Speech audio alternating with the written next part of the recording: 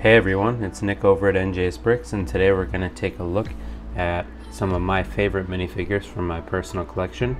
Uh, as you can see here we've got some Stranger Things, Friends, we've got Seinfeld, Star Wars, Winnie the Pooh, all kinds of different Star Wars. We got some Bad Batch, we got some Mandalorian related figures, some stormtroopers, superheroes. First up here we got Will Byers from Stranger Things. Uh, some really nice printing on the torso here and a pretty uh, accurate hair piece. We get the short legs because this is for season one version, so little guys. Here is a Demogorgon. It's got hip and leg and toe printing on these like special molded legs. Uh, so this is a pretty sweet figure. Obviously, the custom molded head is the showpiece. Next up here, we've got Mike Wheeler. He's got his walkie-talkie and flashlight equipped and ready to go. Nice torso printing on this one. And another reasonable hairpiece. Dustin Henderson next. This figure is awesome. He's got a combo hat hairpiece. He's got an awesome facial expression. He's got the compass and the walkie-talkie. Uh, this is probably my favorite of the four kids, perhaps. Um, but obviously we cannot forget Lucas. He's got his bandana look here, great torso printing. Uh, also has a flashlight and comes with his trusty uh, slingshot or wrist rocket. Next we have Eleven with her Eggo. Uh, this is her obviously wearing disguised outfit. Um, I think this is a pretty awesome figure. It actually comes with the fabric skirt, which is great, and uh, a nice hairpiece to top it all off. Chief Jim Hopper, and what can you say? Mornings are for coffee and contemplation, and being an awesome minifigure. Some great torso printing, and obviously hat uh, to round out the Hopper look. This is an awesome Joyce figure because she's got this painting here that Will had made of himself. Will the Wise, his D&D character, uh, the wizard, so I think that's super awesome. Um, a fairly accurate figure, nothing uh, super crazy going on. Now we have some Friends figures. This here is Rachel Green uh, in her plaid skirt. And this figure is kind of remarkable because it has leg printing and toe printing on the sides, uh, both sides of the legs. So it's extremely detailed in that respect.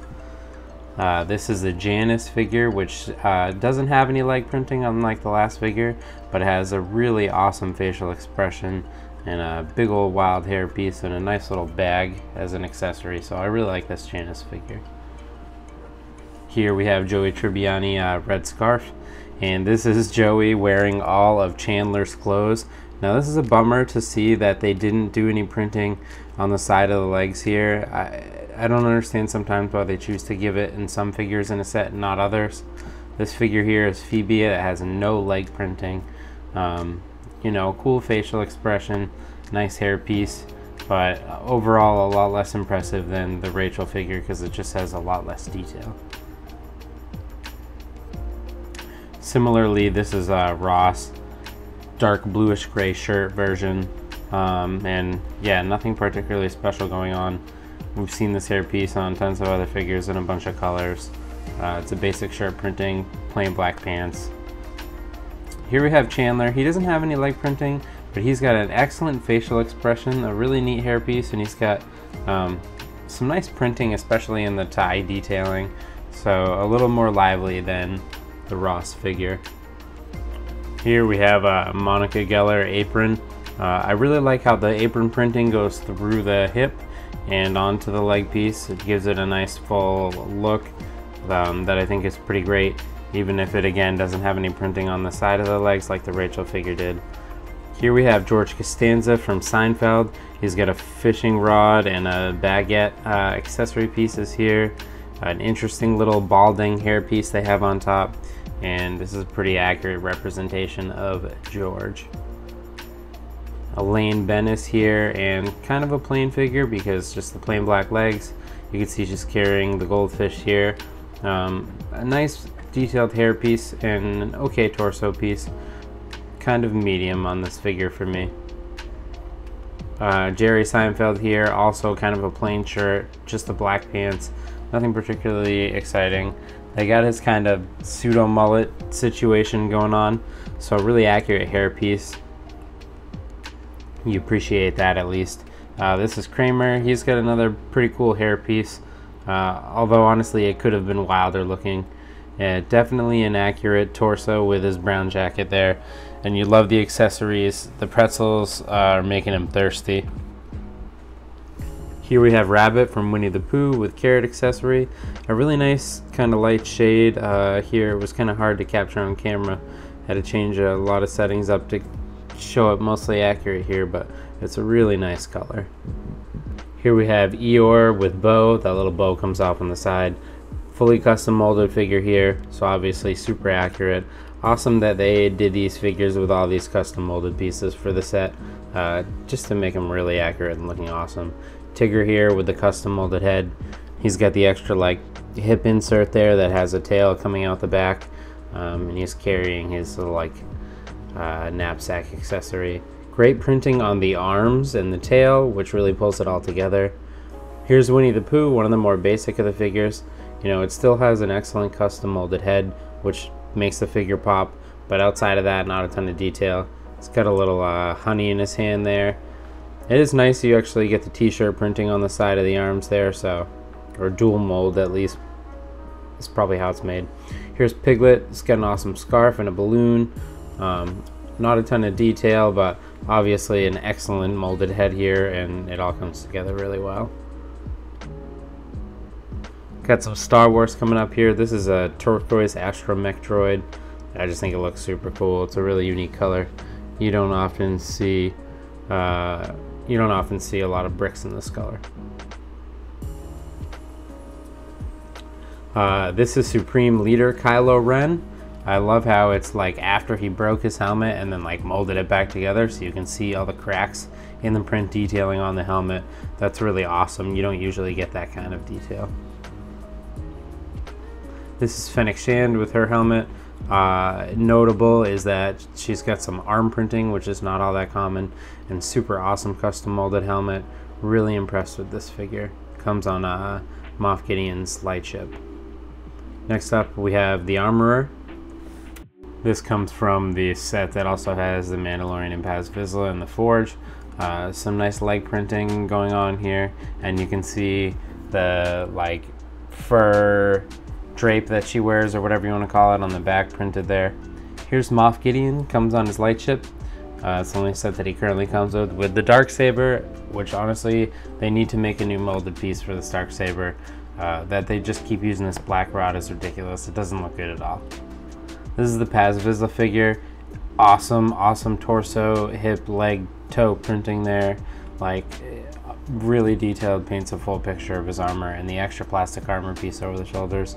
This is a super excellent figure. Even printing on the side of the armor piece. It's incredible. Look at this Boba figure. He's got arm printing, toe printing, hip printing, just the full nine yards. I think this Boba looks awesome. This is after he repaints his armor uh, late in The Mandalorian Season 2. Stunning figure, in my opinion. Uh, we've got some Bad Batch figures here. This is my uh, pal, your pal, Wrecker, uh, as Omega would say.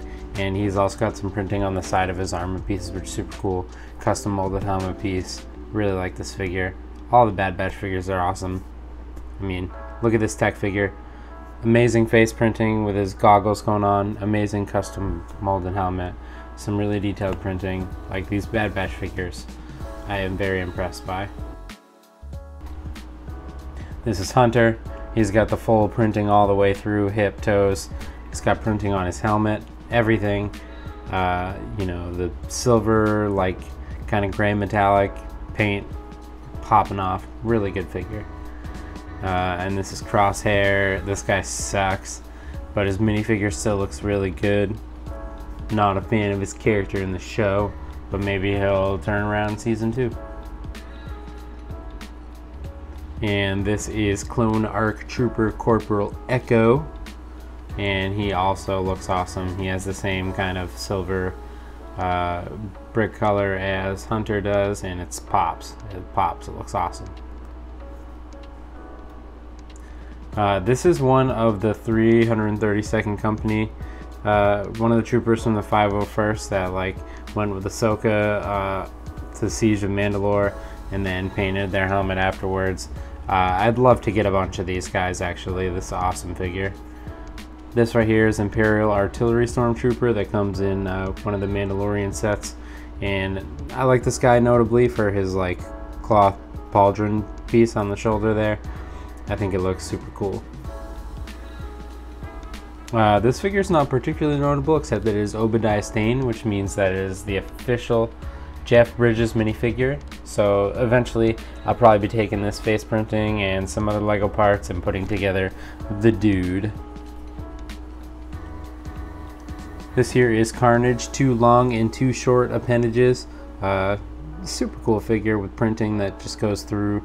Again, you'll see I love the figures where the printing goes from torso to hip to leg. So it's like one full situation. Just looks super complete.